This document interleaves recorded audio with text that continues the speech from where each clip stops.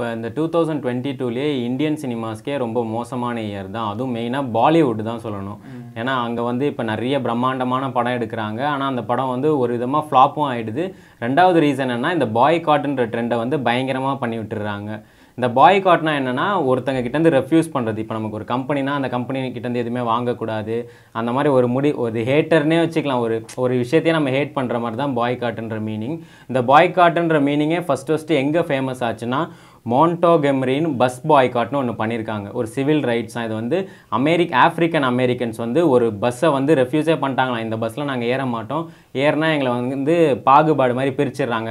ஆஃப்ரிக்கன்னா கொஞ்சம் பிளாக்காக இருக்கனால இந்த பஸ்ஸில் லாஸ்ட்டில் உட்காருங்க. அந்த மாதிரி சொன்னனால அவங்க ஒரு ப்ரொட்டஸ்ட் மாதிரி பண்ணியிருக்காங்க அது ஒன் இயராக நடத்தியிருக்காங்க ஸோ அங்கேருந்து இந்த பாய்காட்ன்ற ட்ரெண்டே ஃபேமஸ் ஆச்சு.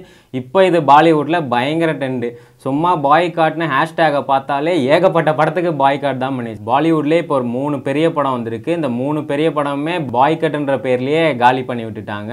இந்த அமீர் கானோட படம் இப்போ வந்தது. லால் சிங் சத்தான்ற மாதிரி. அப்புறம் அக்ஷய் குமாரோட படம் வந்தது. பூமி பெத்னகர் ரக்ஷன் பந்தன். அப்புறம் நம்மளோட ரன்பீர் கபூரோட படம் ஒன்று வந்தது. ஷம்ஷீரான் இந்த மூணு படம் செம்ம ப பயங்கர இன்வெஸ்ட்மெண்ட்டில் வந்தது. நல்ல ஆஹா ஓஹோன் ப்ரொமோஷன்ஸ்லாம் கூட பயங்கரமாக பண்ணிகிட்டு இருந்தாங்க. இந்த மூணு படமே பார்த்தா பாய் காட் பாய் காட்டுன்னு ஹேஷ்டேக் க்ரியேட் பண்ணியே காலி பண்ணி விட்டாங்க. ஃபஸ்ட்டு இந்த அமீர் கான் படம் ஏன் பாய்காட் பண்ணாங்கன்னா அவர் வந்து டூ தௌசண்ட் ஃபிஃப்டீனில் ஒரு ட்வீட்டில் சொல்லியிருந்தார். அவங்க ஒய்ஃப் சொல்லியிருந்தாங்க இந்த மாதிரி இந்தியாவில் வந்து டாலரன்ஸே கம்மியாயிட்டு இருக்கு. அப்போ ஒரு ஸ்டேட்மெண்ட் இருந்தாங்க அதனால் அவர் படம் இப்போ வந்தனால இதை எடுத்துட்டு இந்த மாதிரி சொல்லிட்டாங்க. விடக்கூடாது. பாய் காட் பாய் காட் அப்படின்னு அந்த படம் பேரை போட்டு ட்ரெண்டிங் பண்ணிடுறாங்க. அதுக்கடுத்து பார்த்தா இந்த ஷம்ஷீரான்னு ஒரு படம். அது வந்து பார்த்தோன்னா ஒரு ச- சாமி படம் மாதிரியே எடுத்து வச்சுருந்தாங்க. ஒரு சிவன் மாதிரிலாம். படத்தில் பார்த்தோன்னா ரன்பீர் வந்து ஆலியா பட்டை கிஸ் பண்ணுற மாதிரிலாம் ஒரு சீன் போட்டிருக்காங்க. அதை போட்டு நாங்கள் வந்து ஹிந்துஸ்னாலே சாமிஸை இப்படி பார்ப்போம் ஆனால் நீங்கள் என்ன இப்படி காமிச்சிட்டீங்க? விடக்கூடாது இந்த படத்தையும் பாய் காட்டினா அந்த மாதிரி தான் அப்புறம் ஆலியா பட்டே சொல்லியிருக்காங்க இந்த மாதிரி நெப்போட்டிசம் நெப்போட்டிசம்லாம் ரொம்ப பேசிகிட்டு இருந்தீங்கன்னா என் படத்தை பார்க்காதீங்க என்னையும் பார்க்காதீங்கன்ற மாதிரி. உடனே ஆஹா இதையும் சொல்லிட்டாங்கன்ட்டு எப்பயோ சொன்னதெல்லாம் தூக்கிட்டு வந்து இப்போ போட்டு பாய் காட் பாய் காட்டுன்றாங்க. இந்த பாலிவுட்டில் இப்போ பா எந்த படம் இருந்தாலும் பாய் காட் தான் கொய்யால அது இல்லாமல் இப்போ லைகர் வேற ரிலீஸ் ஆயிருந்தது. அந்த படம் பாவம் நம்மளோட விஜய் தேவரன் ஃபர்ஸ்ட் பாலிவுட் படம்.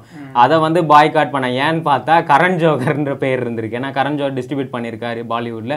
அவர் பேர் அதில் இருக்குன்னு அதையும் பாய் காட்னு இப்போ ஏகப்பட்ட படம் வெளியே வருதோ இல்லையோ பாய் காட் பண்ணி விட்டுறாங்க. கஷ்டமான காலம் தான் நினைக்கிறேன். ஏன்னா பாலிவுட்டுக்கு ஏன்னா இப்போ ட்ரிபிள் ஆர்ஆர் கேஜிஎஃப் விக்ரம்லாம் பாலிவுட்ல பயங்கரமா பண்ணுது. பயங்கர ஹிட் ஆயிட்டு இருக்கு செம்ம காசு. இந்தியா லெவலில் thousand crores eight hundred crores nine hundred க்ரோஸும் போயிட்டு இருக்கு பாவம் ஹிந்தி படம் தான் இப்போ நூறு கோடி பட்ஜெட்டாக எழுபது கோடியிலே படம் முடிஞ்சிருது. இந்த மாதிரி இந்த வருஷத்தோட ஹையஸ்ட்டு பாக்ஸ் ஆஃபீஸ் எதுன்னு பார்த்தா லால் சிங் சார்ஜா தான். ஆனால் அது அதுவே பயங்கரமான ஃப்ளாப்பு போட்ட காசு கூட எடுக்க முடியல. ஆனால் அதுதான் ஹையஸ்ட்டு கிராசிங்காக இருக்குது இந்த மாதிரி பாலிவுட்டே ஒரு மோசமான நிலமையில தான் போயிட்டு இருக்கு இன்னும் பெரிய பெரிய படம்லாம் வருது. இந்த மாதிரி பிரம்மாஸ்தம் படம்லாம் வருது. அதெல்லாம் வந்து மிகப்பெரிய பட்ஜெட் இருக்கு அதுல. அந்த டேரக்டர் வந்து பத்து வருஷம் அந்த படத்துக்காக இன்வெஸ்ட் பண்ணி உழைச்சிருக்காரு. ட்ரைலர்லாம் செம்மையா இருக்கு. அந்த படம் இருக்கு. இந்த மாதிரி பெரிய பெரிய படம்லாம் வரதா இருக்கு. அதையும் இப்படி ஓட விடுறாங்களா? இல்லை பாய் கட் பண்ணி எல்லாரையும் வீட்டுக்கு அனுப்பிச்சிடுறாங்களான்னு இதில் நல்ல விஷயம்னா அது பாலிவுட்டோட ஸ்டாப் ஆனால் சரி. ஏன்னா நம்ம சவுத் இந்தியன் ஃபேன்ஸ்லாம் ஒன்றும் இல்லை ட்ரெய்லரை பார்த்து விஜய் விஜய் ஃபேன் சார்பாக வாழ்த்துக்கள். அதோட நிறுத்திக்கிறாங்க. மற்றபடி இந்த பாய் காட்லாம் இல்லை. நம்ம த நார்மலாக எல்லாருமே வந்து படம் நல்லா இருந்தால் பார்க்குறோம். இல்லைன்னா அவ்வளோதான் ஆவரேஜ்ன்ட்டு வந்துடும் இந்த பாய் காட் பண்ணுறதெல்லாம் பண்ணிடாதீங்க. அந்த மாதிரி. ஆனா இது ஒரு எப்படி சொல்றது? இது ஒரு ஒரு நல்ல விஷயமா கூட எடுத்துக்கலாம். இந்த மாதிரி நெப்போட்டிசம் ஒழிக்கிறதுக்காக பாய்காட் பண்ணுறாங்க அப்படின்னு கூட எடுத்துக்கலாம்.